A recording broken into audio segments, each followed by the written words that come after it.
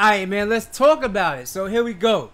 Got this new NBA 2K news, and basically, I'm about to give show you guys a little clip of an article and everything. We got the commentary trail in the background. There's a lot of things. Basically, 2K18 has a whole new my career system. Badges are no longer earned only in my career.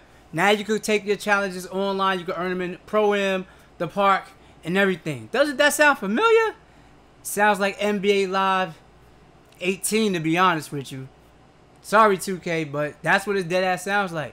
I think we should call it NBA 2K Live 18. But yeah, that's what it is right now, man. You earning your badges. Now, this is the thing that that mostly got me, right? So now you can't have no scrub ass partners. You're gonna need people that can actually play the game. You're gonna need people that know what they're doing because if you're earning badge in the park and you need assist to earn these certain badges, then we talking. We got this is just something new here. This is a whole new dynamic in NBA 2K. So, if you like live ideas, but you like NBA 2K gameplay, well, here you go. Because that's basically what it is. No more badges in my career. Sorry, sayonara. It's over. Finito. It's gone.